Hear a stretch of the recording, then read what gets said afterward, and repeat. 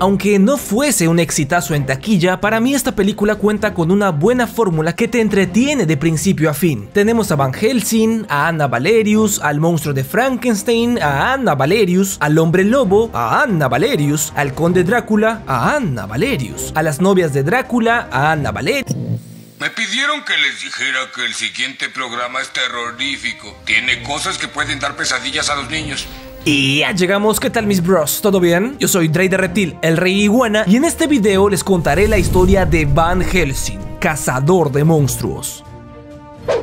La historia comenzó en las afueras del castillo del Dr. Víctor Frankenstein, 1887, Transilvania. Su monstruosa creación había cobrado vida. Esto representaba un gran logro para su patrón, el conde Drácula. Sin embargo, su método de profanación de tumbas había alarmado a la población local, quienes en aquel momento iban directo a lincharlo. El científico se negó a ceder su descubrimiento tras escuchar los verdaderos propósitos malvados del vampiro, dar vida a sus hijos. Su asistente Igor, con la lealtad vendida, solo observó cómo el doctor era devorado. El monstruo, por su parte, dándose cuenta de lo ocurrido, se liberó para huir con el cuerpo de su padre en brazos. Por desgracia, los gritos del traidor llamaron la atención de la multitud. Las llamas besaron rápidamente las paredes del molino y un grito de dolor se escuchó en el aire. ¡Ay, mamá! La llegada del muerto vivo junto a sus novias espantó en un santiamén a los mortales, aunque era demasiado tarde, pues vieron cómo el fuego consumía sus deseos. Un año más tarde, el infame y particular cazador de monstruos Gabriel Van Helsing estaba en París por órdenes del Vaticano, intentando detener al Dr. Jekyll, alias Señor Hyde. Obviamente prefería eliminar a un psicópata como él de una vez por todas, pero sus superiores lo deseaban con vida para curarlo. Las cosas se complicaron. Van Helsing entonces empleó sus habilidades para cumplir su trabajo y como era de esperarse, el monstruo retomó su apariencia humana tras morir. ¡Van Helsing! Gabriel pertenecía a una orden secreta que se dedicaba a purgar el mundo de las fuerzas del mal desde épocas inmemoriales. Años atrás había sido encontrado moribundo en las afueras del Vaticano y tomado bajo su protección. Según los padres, sus resultados eran incuestionables, pero sus métodos llamaban mucho la atención. Su destreza como guerrero fue una confirmación para la iglesia de que aquel hombre era un enviado de Dios. Huevadas, si era tan poderoso, ¿por qué no lo hacía él mismo? Decía Van En fin, de regreso en Roma, el Vaticano le asignó inmediatamente una nueva misión. Tenía que ir a las tierras malditas de Transilvania para ayudar a la familia Valerius a romper una maldición generacional, liquidando al temible conde Drácula, pues ellos habían jurado solo descansar en paz cuando el demonio fuese destruido. Actualmente, solo dos descendientes, los hermanos Belkan y Ana, hacían frente al vampiro. Gabriel no contaba con ningún recuerdo de su vida pasada, solo fragmentos, pero una fuerte sensación de familiaridad recorrió su piel. Pues incluso el símbolo de un pergamino de hace 400 años, dejado por un ancestro de los Valerios que le otorgaron para llevar consigo, coincidía con el de su sortija. Posiblemente Transilvania era la respuesta a su misterioso pasado. A esta aventura se sumó el fraile Carl, su principal proveedor de armas para combatir el mal. Pasaron algunas lunas y algunos soles hasta que llegaron a las tierras del vampiro. La bienvenida no fue tan calurosa, pero la aparición de Anna Valerius subió la temperatura.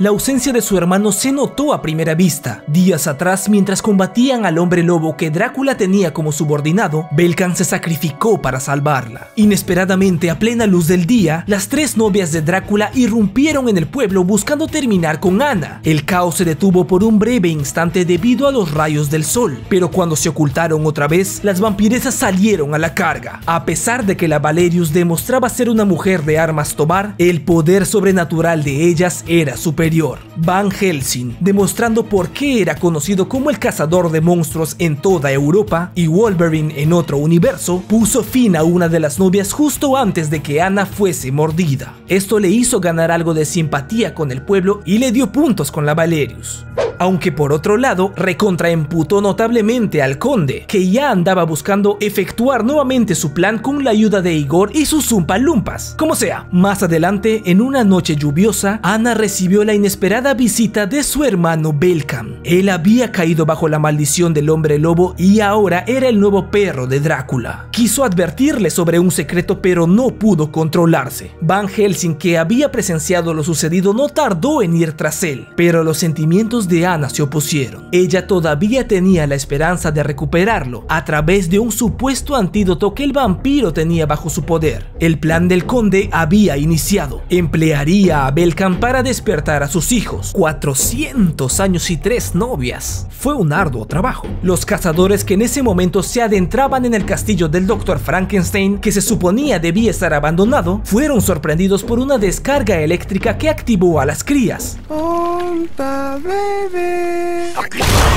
Lo más grave del asunto era que estos engendros no solo representaban un peligro para Transilvania, sino para Europa entera, por lo que Van Helsing tras detectar a su padre se apresuró a eliminarlo para detener el apocalipsis, y tras clavarle una estaca directamente al corazón, le dedicó unas palabras. Y el cazador dijo, ¡Vete al diablo! Y el vampiro respondió, ¡Eso ofende, viejo! Este primer encuentro con Drácula resultó muy revelador. A palabras del conde, ambos eran antiguos enemigos de hace más de 400 años, destinados a enfrentarse como la luz y las tinieblas. Afortunadamente para Gabriel, la reanimación de los hijos del vampiro fue imperfecta, al no contar con una fuente adecuada de energía, y le brindó la oportunidad para abandonar el castillo junto a Ana. Más tarde, mientras los cazadores se veían con ganas de darse vuelta como pollo a la brasa, encontraron por la obra y gracia de, mm, digamos, Moe, ¿Eh? una cueva debajo del antiguo molino quemado. Allí estaba el mismísimo monstruo de Frankenstein, vivo y feo. Paralelo a este hallazgo, el fraile Carl, que había caído en pecado la noche anterior por la también obra y gracia de, mm, digamos, Moe, descubrió una antigua pintura que revelaba el gran secreto de Drácula película. En fin, esta cosita fea les dijo que su sola existencia representaba un gran peligro para la humanidad. Era la fuente que tanto el vampiro necesitaba. Van Helsing por su lado no pensaba exterminarlo, pues si bien fue creado con fines malvados, dentro de él no había maldad. Sin embargo, el perro de Drácula presenció este hecho y no tardaría en informar a su amo. Por lo que considerando el peor de los escenarios, Gabriel tendió una trampa a las vampiresas mientras intentaba sacar al monstruo de Transilvania y acabó con una novia más. Lamentablemente, la aparición de Belkan como hombre lobo puso en serios aprietos al equipo. Si bien el cazador de monstruos logró liberarlo de la maldición, terminó siendo mordido. Además, Ana fue raptada por la novia sobreviviente para luego demandar el intercambio de ella con el monstruo. Gabriel no tenía alternativa. Aparte, su condición no hacía más que empeorar. El plan de engañar al conde y salvar a ambos salió hasta las huevas. Sí lograron rescatar a la Valerius, pero perdieron a la criatura. Ese mismo día, Carl les comentó sobre sus hallazgos. Aparte de que Drácula era un familiar lejano de Ana, existía una puerta secreta que conducía hacia su castillo. El trozo de pergamino con la insignia era la llave. En nombre de Dios, abras esta puerta. Luego de descifrar que aquel espejo era en realidad un portal, el equipo no perdió el tiempo ingresando al lugar, ya que la maldición comenzaba a manifestarse más y más. Allí a través del monstruo confirmaron la existencia de un antídoto. Pero ¿por qué existía tal cosa? Porque solo un licántropo podría acabar con Drácula. El antídoto era la salida de emergencia del vampiro por si uno se rebelara contra él. Tras obligar a Igor a ayudarlos, el equipo se dividió, no sin antes chapar como si no hubiese un mañana. En fin, Anna y Carl pudieron encontrar la cura, aunque debido a una jugada sucia del hediondo se quedaron ocupados con la novia restante. Por otro lado, la liberación del monstruo se vio interrumpida cuando Drácula divisó al cazador y atacó en su forma verdadera. Durante estos instantes, dos impactos de rayos terminaron por reanimar exitosamente a las bendiciones del conde. Luego de escapar, la criatura de Frankenstein pudo ayudar a sus aliados, al fraile Carl eliminando al champazo a Igor y a la Valerius, distrayendo brevemente a la vampiresa que terminó siendo exterminada de todas formas. Mientras tanto, la batalla decisiva entre los dos antiguos rivales estaba a punto de comenzar. Sacando una ventaja, Van Helsing parado y sin polo utilizó la maldición del hombre lobo a su favor que ya corría por sus venas. ¡Kakaroto! ¡Es hora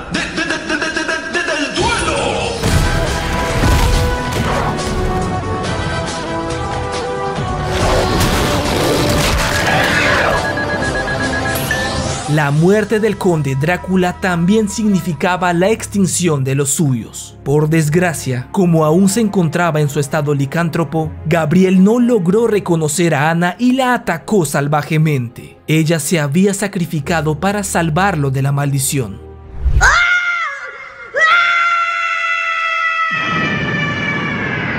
La última descendiente, Valerius, murió entre sus brazos.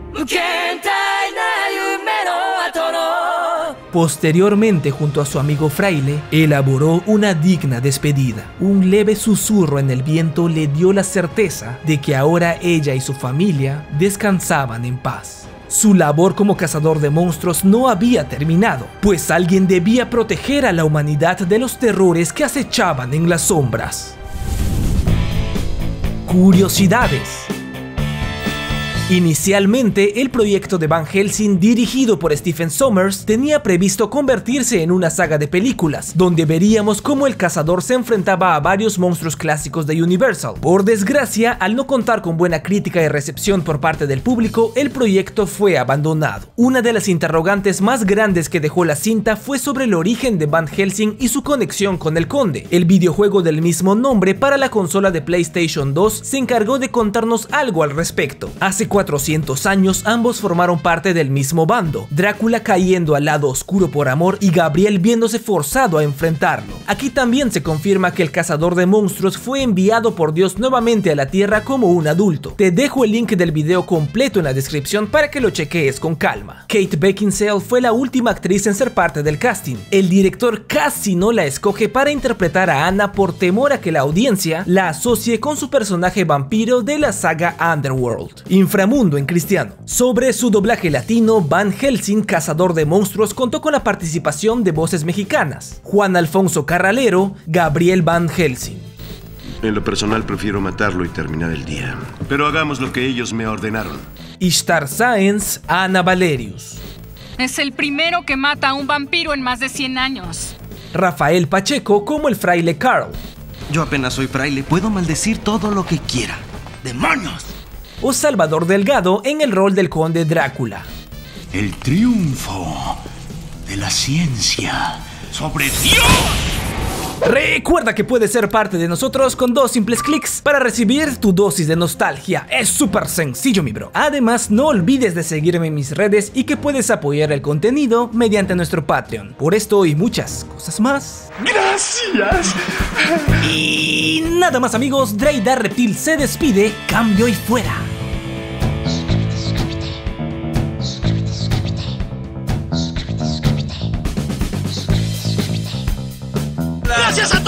Su apoyo. Gracias. Además, puedes encontrar mucha acción a Ana Valerius, mucho drama a Ana Valerius.